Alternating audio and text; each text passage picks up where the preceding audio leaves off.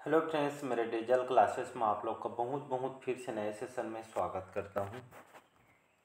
तो यहाँ पे हम छत्तीसगढ़ सामान्य अध्ययन को, यहाँ पे जो मिक्स क्वेश्चन यहाँ पे कवर करा रहे हैं, सबके आपके एग्ज़ाम को देखते हुए, छत्तीसगढ़ के कोई भी एग्ज़ाम का आप प्रिपरेशन कर रहे होंगे पीएससी प्री हो गया मेंस मेंस का फॉर्म भी स्टार्ट हो गया भरना, ठीक है? जिन लोग का प्री क्वालिफाई हो रही तो मेंस का फॉर्म भर सकते हैं। साथ ही साथ, जिन स्टूडेंट खास करके जो है हॉस्टल वार्डन प्रयोगशाला शिक्षक कर्मी भर्ती हो छत्तीसगढ़ पुलिस हो तो उन सभी एग्ज़ाम के लिए इम्पोर्टेंट छत्तीसगढ़ के कोई भी एग्ज़ाम का आप तैयारी कर रहे होंगे तो उन सभी एग्ज़ाम के लिए इम्पोर्टेंट है। चलिए स्टार्ट करते हैं सेशन को। डेली बेस पे यहाँ पे सेशन चलाया जा रहा है, सभी एग्ज़ाम को देखते हुए। यहाँ पे जितने भी क्वेश्चन कंटेंट तैयार किए, सभी इंपॉर्टेंट ठीक है? यहाँ से बहुत सारे क्वेश्चन आपके अलग अलग एग्ज़ाम में आए हुए हैं, ठीक है जी? तो पहला क्वेश्चन है विश्व की विश्व की प्राचीनतम नाट्यशाला सीता बेंगरा का जो गुफा है, आपका जो है कहाँ पे स्थित है? चितवा डोंगरी में, रामगढ़ में, सामरी पाट में या इनमें से कोई नहीं? तो इसका जो करेक्ट आंसर हो जाएगा, ये आपका जो है, कहाँ पे स्थित है? रामगढ़ में स्थित है। कौन से जिला अंतर्गत आती है? तो ये आपका जो है सरगुजा ज़िले के अंतर्गत आती है, मैन पाट में, ठीक है जी? मैन पाट सुने होंगे। सरगुजा ज़िले के अंतर्गत आती है। और यहाँ पे रामगढ़ रामगढ़ में सीता बेंगरा, ये जो सीता बेंगरा जो है, एक जो है नाट्यशाला है, ठीक है, नाट्यशाला है। साथ ही साथ आपका जो है जोगी मारा की गुफा है, हाथी पोल, सीता कुंड मैन पार्ट घूमने जाएँगे वहाँ पे जो हिल स्टेशन, बौद्ध मंदिर वगैरह बना है। और ये क्वेश्चन और बन सकता है। और यहाँ पे जो है मैन पार्ट को और किस लिए जाना जाता है? छत्तीसगढ़ का शिमला, ठीक है, छत्तीसगढ़ के शिमला इसको कहा जाता है इसको। छोटा तिब्बत कहा जाता है। यहाँ तो तिब्बती शरणार्थियों को उन्नीस में, ठीक है, उन्नीस में इन लोग को बसाया गया था। ये जो है मान नदी का उद्गम यहीं से हुआ है, ठीक है जी? और ये जो है, यहाँ पे जो है जलजली क्षेत्र कहा जाता है। यहाँ पे जो है दर्शनीय स्थल जो जलप्रपात है, टाइगर पॉइंट, इको पॉइंट यहाँ पे स्थित है, ठीक है जी? ये जो एक एक रूप से जो प्राकृतिक पर्यटन स्थल के रूप में इसको जानते हैं। ये सभी क्वेश्चन आपके बार बार एग्ज़ाम में क्वेश्चन लगभग पीएससी में दो से तीन बार व्यापम मतलब अलग अलग एग्ज़ाम में यहाँ से क्वेश्चन आपसे पूछे गए हैं। चलिए नेक्स्ट क्वेश्चन देखते चलिए अगला क्वेश्चन देखते हैं। अरण्यक गुफा जो है, अरण्यक गुफा स्थित है कोसम झोड़ी पहाड़ी में, मंगलपुर की पहाड़ी में, आपके कुपनसर की पहाड़ी में या अरहनपुर के पहाड़ जो पहाड़ी है उसमें। तो मंगलपुर के जो पहाड़ी ये जो है प्राचीन जो है पहाड़ी है बस्तर जिला के अंतर्गत आती है, ठीक है? तो अरण्यक जो भागो है, मंगलपुर के पहाड़ी बस्तर में आपका स्थित है, ठीक है जी? तो एक तरह का गुफा है, ठीक है जी? याद रखिएगा। अगला क्वेश्चन देखते चलिए अगला क्वेश्चन देखते हैं। सरगुजा जिला, सरगुजा ज़िले की जीवन रेखा किस नदी को मानी जाती है? रेणुका नदी, कन्हार नदी, या आपके जो है, गोपद नदी, या आपका जो है, बरनई नदी को? तो इसका जो करेक्ट आंसर हो जाएगा रेणुका नदी, ठीक है? रेणुका को, इसी को रेण नदी बोलते हैं और इसको जो है रिहन नदी, ठीक है? रेणुका जो है प्राचीन नाम है तो इसको जो है अभी रिहन नदी के नाम से इसको जानते हैं, ठीक है जी? तो इसको याद रखिए बाकी ऑप्शन में रिहन नदी है तो रिहन नदी लगा सकते हैं। तो सरगुजा जी जो है ज़िले के जीवा रेखा कौन सा नदी कहलाती है? तो आपका रिहन नदी कहलाती है, सरगुजा की जीवा रेखा कहलाती है। अगर मैं रिहन नदी की बात करूँ इसका उद्गम कहाँ से हुआ है? तो छुरी मतरिंगा पहाड़ी अंबिकापुर तहसील सरगुजा से। यहाँ से इसका उद्गम हुआ है और विसर्जन जो है सोन नदी में इसका जो विसर्जन हो जाती है। 145 किलोमीटर इसकी कुल लंबाई है, सरगुजा, सूरजपुर, बलरामपुर। ये प्रवाह क्षेत्र है, घुनघुट्टा, मोरनी महान सूर्य इसकी जो है जो है सहायक नदी है ठीक है? रिहन नदी जो है सरगुजा की जीवन रेखा कहलाती है। रिहन नदी के तट पे जो महेशपुर सरगुजा पुरातात्विक स्थल आपका स्थित है। ठीक इसी नदी पे जो है, खास करके जो है, उत्तर प्रदेश के मिर्जापुर में गोविंद वल्लभ जो जलाशय आपको बनाया गया रिहन नदी भान बीस को कहा जाता है। ठीक है तो ये एग्ज़ाम में सी जी पी प्री और व्यापम में यहाँ से आए हुए हैं। ठीक है जी, अगला क्वेश्चन है। चलिए अगला क्वेश्चन देखते हैं। कोरबा जिला। कोरबा जिला जो है, कौन सी नदी किनारे स्थित है, अरपा नदी, इंद्रावती नदी, हसदो नदी या केलो नदी? तो इसका सी ऑप्शन करेक्ट आंसर हो जाएगा।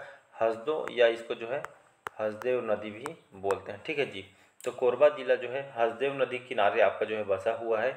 इसका ओरिजिन कहाँ से होता है? ये इसका जो कोरिया सोनार तहसील देवगुड़ की कैमूर पहाड़ी से। यहाँ से जो है इसका जो है ओरिजिन होती है। ठीक है? उद्गम होता है। और विसर्जन कहाँ पे होता है? तो महानदी में इसका जो है सिलाडी के आसपास यहाँ पे जो है महानदी में जो है इसका विसर्जन या फाल इसका हो जाता है।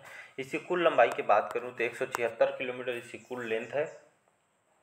कोरिया, कोरबा जांगी चांपा, इसे जो इस क्षेत्रों में जो इसका फ्लो होता है, प्रवाह क्षेत्र है। तान झींग उतेंग, गज, अहिरन, जटाशंकर, चोरनई, इसके प्रमुख सहायक नदियाँ हैं। इसके तट पे शहर कौन कौन से बसा हुआ है? इसके तट पे बसे हुए आपका जो है कोरबा, चांपा पीथमपुर, जांजगीर चांपा, ये इसके तट पे बसे हुए कोस्टल सिटी हैं। इसको ठीक है याद रखिएगा। हसदेव बांगो परियोजना, जिसको हम मिनी माता परियोजना के नाम से जानते हैं, उन्नीस सौ सड़सठ में स्थापना किया गया है। ठीक है, कोरबा में आपका बना हुआ है। और छत्तीसगढ़ की प्रथम बहुद्वीप बहुद्देशीय परियोजना है। सबसे ऊँचा बाँध है यहाँ का, सतासी मीटर इसकी जो है ऊंचाई है। ठीक है, जिसको याद रख, हसदेव घाटी जो है कोला खदानों के लिए भी बहुत ही प्रसिद्ध है। ठीक है, इसको याद रखिएगा। अगला क्वेश्चन देखते हैं, चलिए। चलिए, अगला क्वेश्चन देखते हैं। खोटा घाट बाँध। सुने होंगे जो है खोटा घाट जो बाँध है, किस नदी पे स्थित है? खारून नदी हजदो नदी, खारंग नदी या मनियारी नदी? इसका आंसर जो है आप कमेंट बॉक्स में कमेंट करके आपको बताना है। ठीक है जी?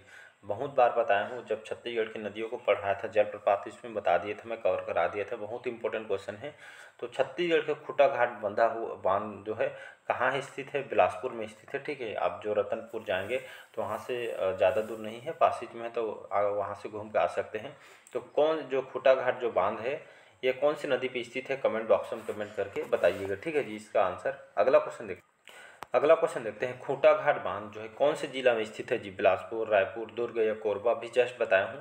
ये जो है खूंटा घाट जो बाँध है, बिलासपुर जिला के अंतर्गत आती है। यहाँ पे जो है, आप जो रतनपुर वगैरह जाएँगे घूमने तो रतनपुर जो जिला है रतनपुर जो दर्शनीय स्थल है, ठीक है तो वहाँ पे जाएँगे तो ज़्यादा दूर वहाँ से लगभग तीन चार किलोमीटर पड़ेगा वहाँ से तो वहाँ से बढ़िया खूटा घाट आपका बंधा हुआ है मतलब बना हुआ है। बहुत ही अच्छी जगह है, पर्यटन स्थल है। तो बिलासपुर के जिला के अंतर्गत ये सभी आते हैं। अगला क्वेश्चन देखते हैं। चलिए अगला क्वेश्चन देखते हैं। छत्तीसगढ़ की दूसरी महत्वपूर्ण नदी शिवनाथ नदी का उद्गम कहाँ से होता है? पानाबरस की पहाड़ी, नंदीराज चोटी से, श्रृंगी पर्वत से या गड़िया पहाड़ से? तो इसका जो करेक्ट आंसर हो जाएगा, ये ऑप्शन करेक्ट आंसर हो जाएगा पाना बरस की पहाड़ी। पाना बरस की पहाड़ी अम्बागढ़ चौकी, राजनांदगांव जिला। यहाँ से इसका जो है ओरिजिन होती है। ठीक है। और शिवी नारायण के निकट महानदी में इसका जो है विसर्जन हो जाती है। ठीक है जी। कुल लंबाई की बात करूँ तो 290 किलोमीटर इसकी कुल लंबाई है। छत्तीसगढ़ में बहने वाली सबसे लंबी नदी आपका जो है शिवनाथ नदी है। ठीक है, याद रखिएगा, छत्तीसगढ़ की सबसे लंबी नदी महानदी है। छत्तीसगढ़ में बहने वाली सबसे लंबी नदी शिवनाथ है और छत्तीसगढ़ की लंबी नदी महानदी ये सभी को याद रखिए, क्योंकि एग्ज़ाम में बार बार क्वेश्चन पूछते हैं। ठीक है या अगर प्रवाह क्षेत्र की बात करें सिद्धनाथ नदी की तो राजनांदगांव, दुर्ग, इस तरह लगभग सात जिलों से होकर जो है आपका जो है फ्लो होता है, प्रवाह होता है। इसके तट पे बसे शहर कौन कौन से हैं? तो दुर्ग, बेमेतरा, मुंगेली बलौदा बाज़ार इसके तट पे आपके बसे हुए प्रमुख शहर हैं। ठीक है जी, ये आपके एग्ज़ाम में भी आया हुआ है। मोंगरा बैराज परियोजना, ये आपका जो है कहाँ पे है? राजनांदगांव जिला में है। ठीक है जी, महानदी की सबसे बड़ी सहायक नदी है तो इसको आपको याद रखना है। अगला क्वेश्चन देखते चलिए अगला क्वेश्चन देखते हैं।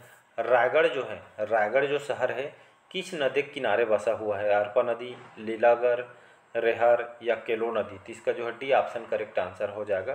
तो रायगढ़ जो है, केलो नदी के किनारे आपका बसा हुआ है, ठीक है जी? लुंडेक पहाड़ी लैलूँगा तहसील रायगढ़ से, यहाँ से इसका जो है उद्गम होता है और महादेव पाली जो उड़ीसा महानदी में जो है, इसका जो है विसर्जन हो जाती है, ठीक है जी? इसको याद रखिएगा। प्रवाह क्षेत्र की बात करूँ तो रायगढ़ में जो इसका जो फ्लो होता है सहायक नदी है कोल्डेगा और आपका जो राजर है इसकी सहायक नदियाँ हैं। इसके तट पे बसे शहर कौन कौन से हो जाएगा? तो ये जो प्रमुख शहर रायगढ़ हो जाएगा ठीक है? तो रायगढ़ जो शहर है इसी नदी किनारे आपका बसा हुआ है केलो नदी ठीक है? केलो नदी परियोजना सुने होंगे जिसको स्वर्गीय दिलीप सिंह जुदे परियोजना बोल, बोलते हैं तो ये आपके रायगढ़ ज़िले में स्थित है ठीक है जी? अगला क्वेश्चन देखते हैं। चलिए अगला क्वेश्चन देखते हैं। रेणुका नदी रेणुका नदी जो है छत्तीसगढ़ के कौन से जिला में स्थित है? कोरबा, कांकेर, बस्तर या सरगुजा जिला? तो रेणुका नदी को जो है रिहन नदी के नाम से भी जानते हैं। अभी बताया मैंने इसके बारे में, ठीक है? तो रेणुका नदी या रिहन नदी छत्तीसगढ़ के कौन से जिला में स्थित है? तो अभी बताया मैंने जो है आपका जो है सरगुजा ज़िले में आपका स्थित है, ठीक है जी? तो इसका जो है डी ऑप्शन यहाँ पे करेक्ट आंसर हो जाएगा। अगला क्वेश्चन देखते चलिए अगला क्वेश्चन देखते हैं। आभनेर नदी कौन कौन सा? आभनेर नदी, मुस्का नदी, पिपरिया नदी के त्रिवेणी संगम पे कौन सा नगर बसा है? दंतेवाड़ा, खैरागढ़, बगीचा या तखतपुर? तो इसका जो करेक्ट आंसर हो जाएगा, खैरागढ़ इसका करेक्ट आंसर हो जाएगा। कौन कौन सी नदी? आवनेर नदी, मुस्का नदी और पिपरिया नदी। इन तीनों नदियों के संगम पे जो है खैरागढ़ जो शहर बसा हुआ है, ठीक है? तो ये जो खास करके जो जो महत्वपूर्ण जो तीर्थ स्थल जो है जो तीन नदियों के संगम पे जो बसे शहर को अक्सर आपसे पूछा जाता है, ठीक है? जैसे आपका राजिम गरियाबंद है, जिसको छत्तीसगढ़ के प्रयाग बोलते हैं, कौन सी नदी किनारे बसा हुआ है? तो आपका महानदी, शिवनाथ नदी और आपका जो है जो सोनधुर है, ठीक है? एक बार बता देता हूँ यहाँ पे।